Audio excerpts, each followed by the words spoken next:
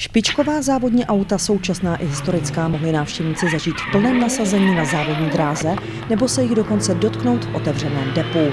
Organizátoři toho návštěvníkům nabídli ale mnohem více. Hlavní asi rozdíl proti ostatním šesti ročníkům byl v tom rozšířením autosalonu, že jsme na to kladli docela větší důraz.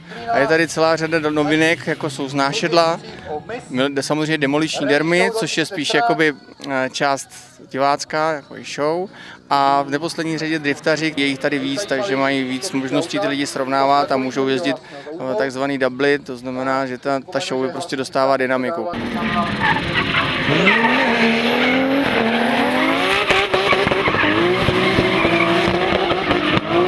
Na okruzích byly k vidění soudobé i historické formule, okruhové speciály i legendární vozy ze světa motosportu. K vidění byly na trati v akci i známé osobnosti. No já jsem teď vylezla z auta, takže jak jsem tady dneska, oni všichni jsou rozjetí. Uh, jezdím novým autem, ale trať super, je to kraťonký, ale ten skok je výborný.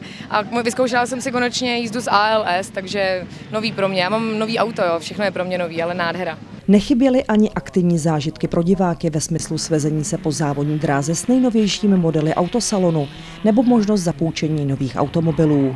Letošní účast většiny dovozců automobilů byla na Hradeckém autodromu rekordní.